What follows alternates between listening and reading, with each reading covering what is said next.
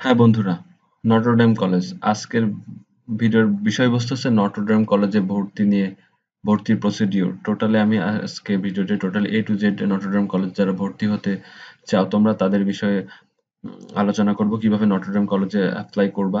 আশা করি ভিডিওটি তোমাদের ভালো লাগবে। তো ভিডিওর লাস্টে একটা সারপ্রাইজ আছে তোমাদের জন্য তো তোমরা ভিডিওটি না টেনে স্কিপ করে টোটালি দেখার পুরোটা দেখার ট্রাই করবা। তো কথা না বলে চলো শুরু করা যাক।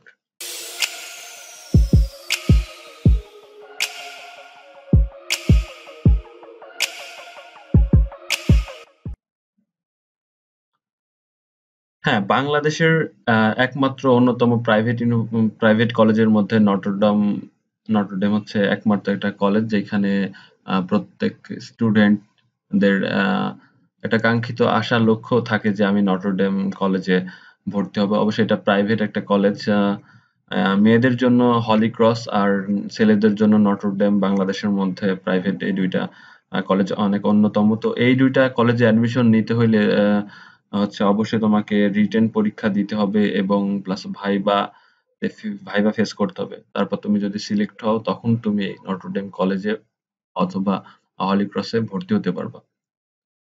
নটরডেম কলেজটা শুধু ছেলেদের জন্য আর হলি ক্রসটা হচ্ছে মেয়েদের জন্য।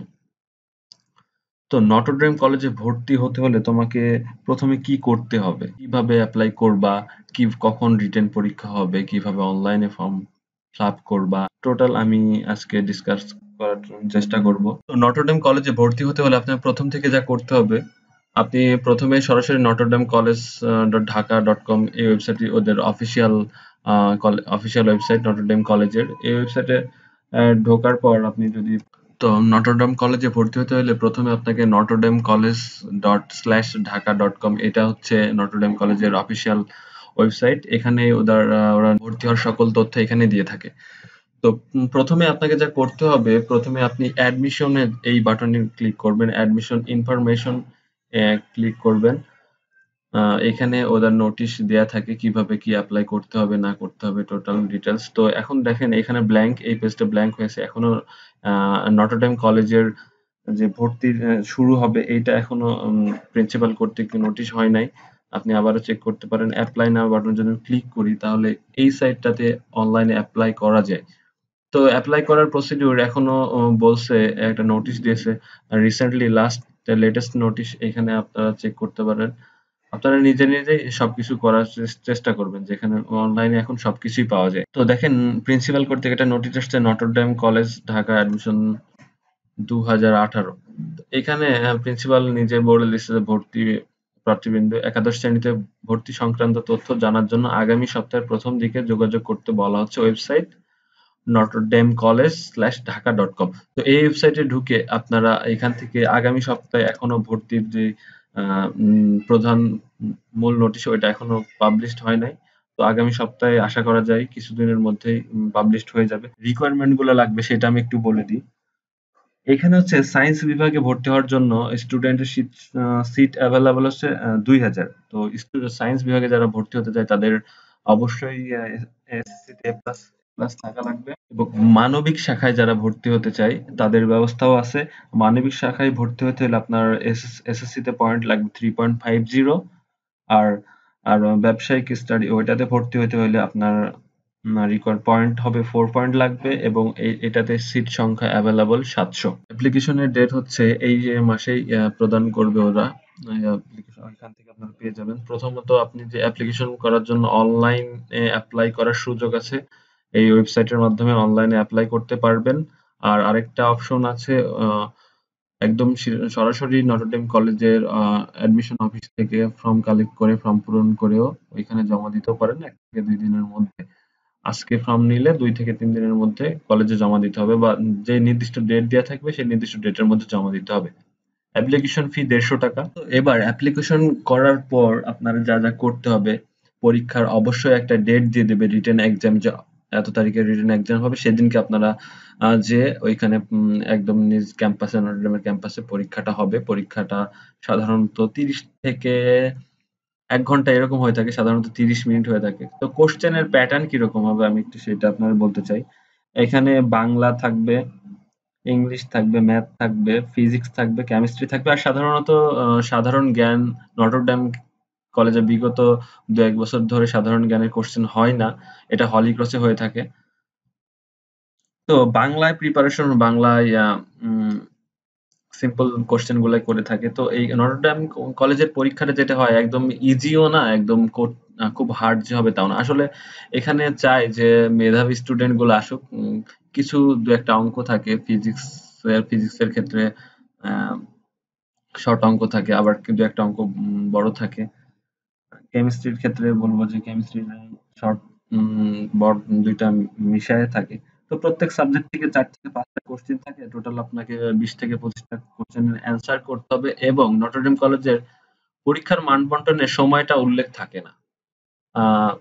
বিশটা, পঁচিশটা কোশ্চেন ওদের কোশ্চেনে ভর্তি পরীক্ষার এক্সামে টাইম দেয়া থাকে না যে কত মিনিটের পরীক্ষা হবে। ওইটা আপনাকে বুঝে নিতে হবে যে কোশ্চেনের টাইপ দেখে কোশ্চেনের প্যাটার্ন দেখে কোশ্চেনের মান দেখে মার্কস দেখে আপনাকে বুঝে নিতে হবে কত মার্কের পরীক্ষা হবে।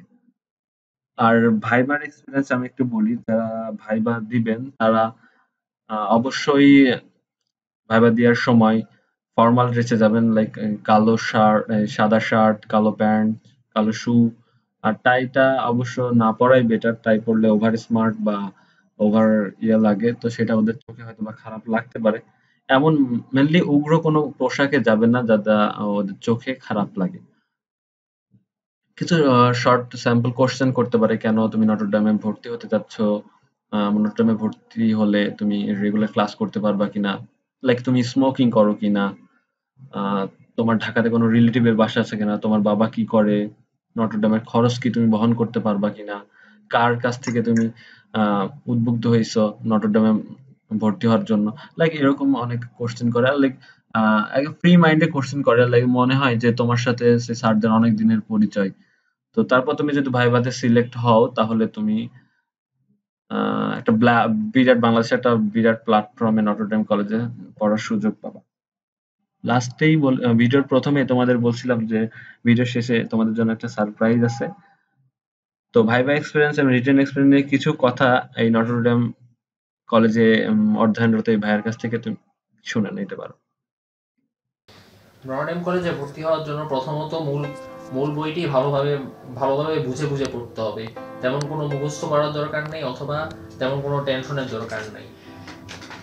প্রথমত প্রথমত মূল বইয়ের সব ম্যাথ ভালো মতো করতে হবে। আর আর ইংরেজির ক্ষেত্রে, আর ইংরেজি আর ইংরেজির ক্ষেত্রে ইংরেজির ক্ষেত্রে গ্রামার গ্রামারটা ভালোভাবে পড়তে হবে। কারণ গ্রামারের বেসিক থেকেই কোশ্চেনগুলো আসে। গ্রামার থেকেও তেমন কোনো কঠিন আসে না, অথবা তেমন যে অর্থ বুঝবে না কেউ, যেটার ওয়ার্ড মিনিং বুঝবে না, সেরকম কোনো কিছু আসে না। আর কেমিস্ট্রি তো একদম খুবই ইজি ইজি কোশ্চেন আসে। আমি নিজেও কেমিস্ট্রিতে এত ভালো ছিলাম না, তবে কেমিস্ট্রিতে যেসব কোশ্চেন আসছে সেগুলো সব পারছিলাম। আর আর মেইন ফ্যাক্টরটা হচ্ছে টাইম মাত্র তিরিশ মিনিট টাইমের মধ্যে পাঁচটা ফিজিক্স ফিজিক্সের মধ্যে পাঁচটার মধ্যে মনে হয় পাঁচটাই ম্যাথ থাকবে। আর ম্যাথের মধ্যে এক সূত্রের ম্যাথ থাকবে, এক এক সূত্রের বেশি থাকবে না। আর ম্যাথের ক্ষেত্রে চারটা মোটামুটি সাইজের ম্যাথ থাকবে। এর মধ্যে একটা, দুইটা বড় ম্যাথ দিয়ে দিতে পারে কনফিউশনে ফেলার জন্য। সেই ক্ষেত্রে কাজ হচ্ছে ওই ম্যাথের ওই যে ম্যাথটা বড় হবে, সে ম্যাথটা একবারে লাস্টের দিকে পড়া। না করতে পারলেও সমস্যা নাই। থার্টি ফাইভ থেকে থার্টি সিক্স পাইলেই ভাইবা ফলো করলে রড চান্স নিশ্চিত। আর বাকি বাকি থাক, বাকি থাকল হচ্ছে কেমিস্ট্রি পাঁচটা, ফিজিক্স পাঁচটা, ম্যাথ পাঁচটা, আর ইংলিশ পাঁচটা দিবে, আর বাংলা অথবা বায়োলজি থেকে পাঁচটা কোশ্চেন এগুলো সবগুলো তিরিশ মিনিটে অ্যান্সার করতে হবে।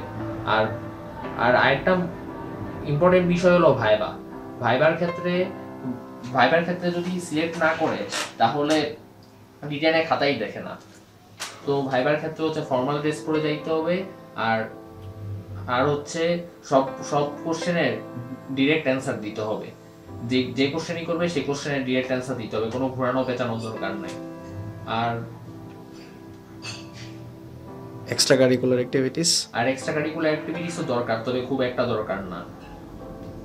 আর হচ্ছে যদি জিজ্ঞেস করে কোচিং কোচিং করছ নাকি? সেটাতে অবশ্যই না বলতে হবে। কারণ কোচিং করলেই সাঁতারাতে বাদ দিয়ে দেয়। ওকে ধন্যবাদ তোমাকে। হ্যাঁ বন্ধুরা, শুনলে তো ভাইয়ের কথা। তো সেই অনুযায়ী তোমরা প্রিপারেশন নিতে থাকো। আর আশা করা যায় তোমাদের জন্য ভালো কিছু অপেক্ষা করছে। পরিশ্রম করলে অবশ্যই তার ন্যায্য মূল্য তোমরা পাবা। আর আরেকটা কথা, যারা এক্সআই মানে ইন্টারমিডিয়েটের ক্লাস অ্যাডমিশন দিতে যাচ্ছ, সরকারি গভর্নমেন্ট কলেজ গভর্নমেন্ট কলেজগুলো তাদের অ্যাপ্লাই শুরু হয়ে গেছে। তোমরা অ্যাপ্লাই নাও বাটনে ক্লিক করে অ্যাপ্লাই করতে পারো। আর আমি আসলে এই ভিডিওটা দেওয়ার কথা ছিল। তবে আমি এই মুহূর্তে দিতে পারছি না, কারণ এটা সমস্যার কারণে। আমি চেষ্টা করব আগামীকাল অথবা পরশুর মধ্যে এই ভিডিওটা আপলোড দেওয়ার তো সেই অনুযায়ী তোমরা সবাই সবার সুস্বাস্থ্য কামনা করে আজকের ভিডিও এখানে শেষ করতে যাচ্ছি। আর নতুন নতুন ভিডিও পেতে আপডেট পেতে অবশ্যই লাইক করবা। আর সাবস্ক্রাইব করতে ভুলবা না সবাই। ভালো থাকবা। খোদা হাফেজ।